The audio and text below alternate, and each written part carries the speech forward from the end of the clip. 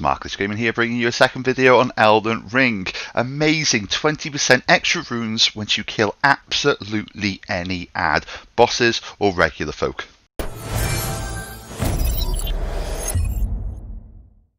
So we'll start off with location, location, location. So we look on the map here, it's the Smouldering Wall.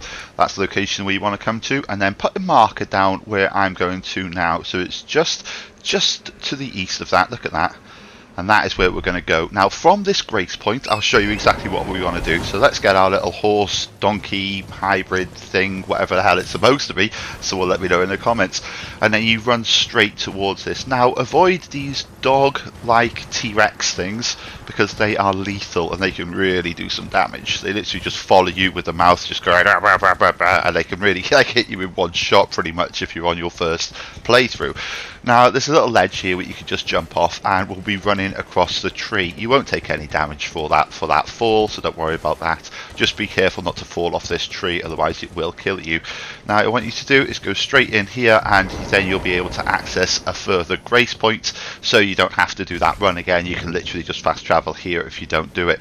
Now pre-warned, you will be fighting two bosses, but they are relatively easy. So save yourself at this grace point and then follow my run exactly so you don't have to take any ads. Watch out for the, see that little rumbling there? Watch out for that because it will do some damage to you. So you want to go left from this statue and let me just get my lantern out. Okay, so just so you can see and then run through here. Now, side tip, activate one of these. Everywhere you see them, just activate them. It's really, really good and useful for you if you want to summon other people into your game.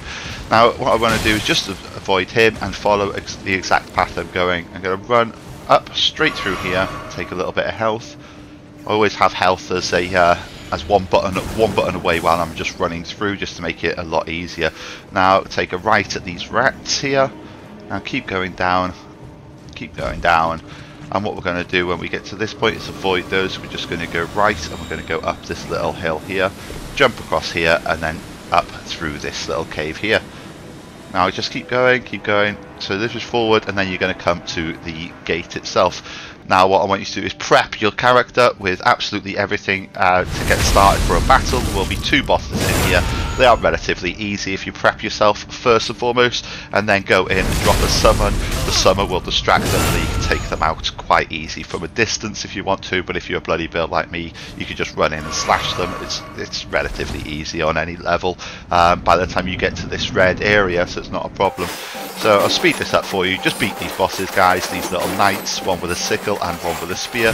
Once you take those down, you will be awarded this gold scarab. Now, if you equip, that under your talismans, you're good to go.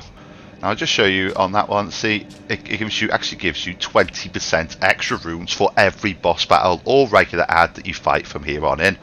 That's it from Smart Glitch Gaming on this one. We'll see you on the next one. Stay safe out there. GG!